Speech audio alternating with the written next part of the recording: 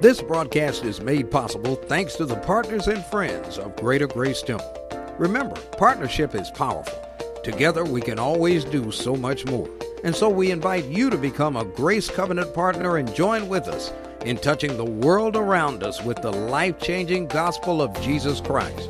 For more information, visit us at greatergrace.org or call us at 313 543 6000.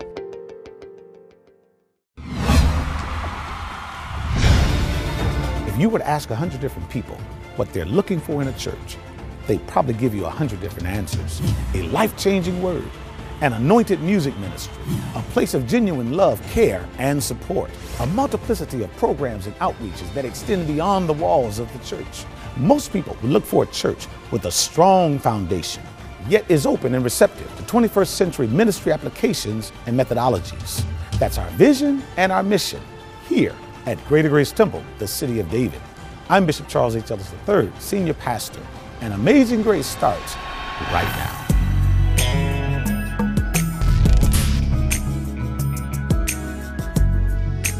want to make a mark in life. All of us ought to want to hope that when I'm dead and gone and when I'm buried, that my works are still following me, that what I've done is still blessing people.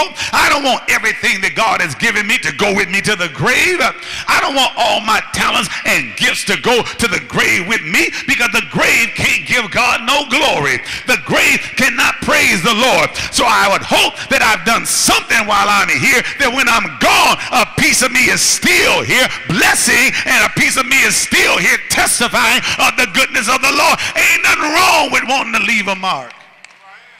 Ain't nothing wrong with wanting to leave your name. People name buildings after themselves so that when they're gone, the building will still declare their influence. And people will know that they existed and that they mattered in life. So these people say, we're going to do something so that when our time comes to an end, somebody will know that we were here. Somebody will know that we passed this way. And they didn't just talk it, they began to work it. Tell a neighbor, you got to work it, you got to work it. First, they conjured up in their mind that what we're going to do is we're going to build a city. And we're going to build this tower. And the tower is going to be so high until it is going to reach even into the heavens. Now, when God sees what these people are doing, because they ain't just sitting on the couch watching TV, talking about where they're going and ain't going nowhere, talking about what they're going to do and they ain't doing nothing, talking about what they're going to be and they aren't anything. But these people are making brick and they're burning them thoroughly in the fire. These people have slime and mortar, so they ain't waiting on nobody to give them nothing. They ain't waiting on nobody to deliver them nothing. They're making their resources and their raw material right there themselves. And there are too many people that are sitting around waiting on God to do what you ought to be getting up and doing yourself. There are too many talking about what you're going to do as soon as the Lord, as soon as the Lord, what he done already gave you a vision, begin to work that vision, begin to talk that vision, begin to walk that vision, begin to live that vision. Is there anybody that still got a dream left in you? Is there anybody that's got a vision and aspiration? Is there something in life that you want to do?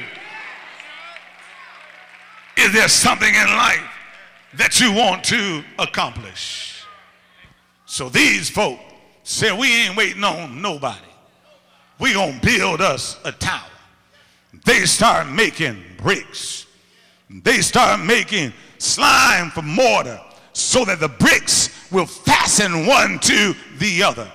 And before you know it, their talk has turned into action. And now their actions have turned into something that is visible.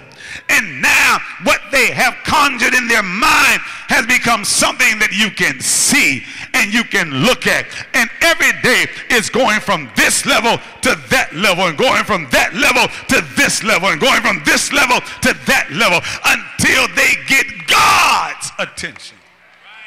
Brothers and sisters, let me tell you something. When you get God's attention, God's getting ready to do something. I wish I had a witness up in here. When you get God to notice what you're doing, He's getting ready to do something. If what you're doing is in the will of God, He's getting ready to make things easy for you. He's getting ready to put an anointing on you so that you can move in double speed, in double time, and triple speed, in triple time. Am I talking to anybody that God gave you a vision? You start walking in that vision. You took one step and He took two. You took two steps, He took five. You took five steps and he took 15. Am I talking to anybody up in here? So they get God's attention. And the Bible says here in Genesis chapter 11, verse number 5, and the Lord came down to see the city and the tower, which the children of men builded. So they ain't talking, but they doing it done got up out of their mind and it has become manifest. It has become physical.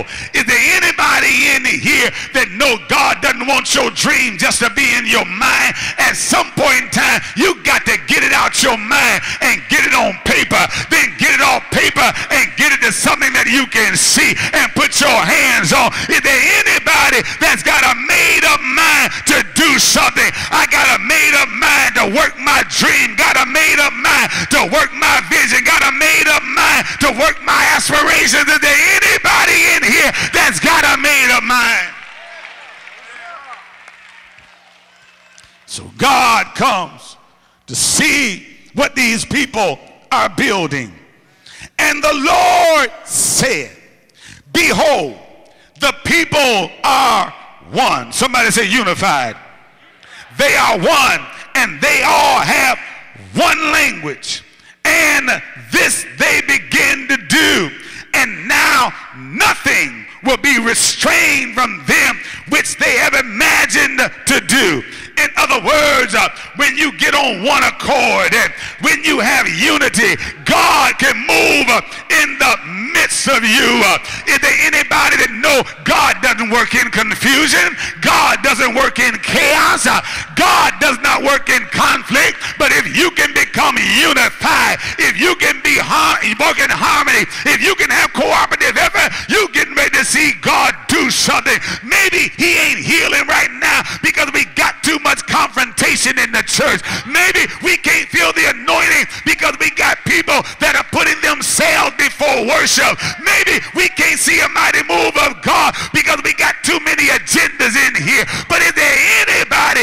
will strip yourself of your motives and strip yourself of your agendas and say, Lord, have your way?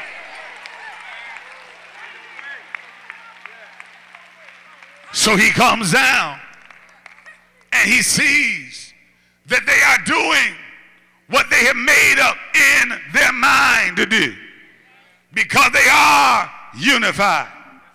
They got one language, they got one dialect. And the Lord, when he sees it, he says, Go to, let us go down. And there confound or confuse their language that they may not understand one another's speech. Because one thing that the Lord knows uh, is that you can all have in your mind to do something. But if you cannot communicate it to each other, then all that you have in your mind doesn't mean a thing. So the Lord came down and he began to confuse their language and he scattered them all abroad the face of the earth until they forgot and left off building the city. In other words, they forsook their dream, they forsook